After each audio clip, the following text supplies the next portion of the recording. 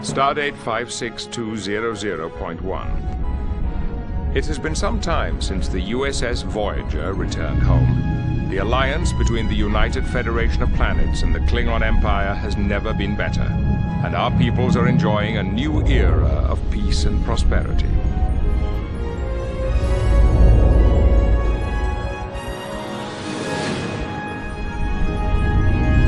Together, we have sought to build Unity 1, the most advanced starbase in the galaxy.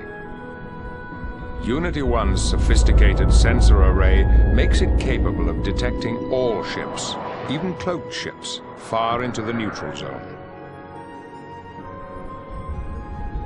The chaos inherent in the Alpha Quadrant demands that we be vigilant, and we must use every tool available to preserve the peace we worked so hard to create.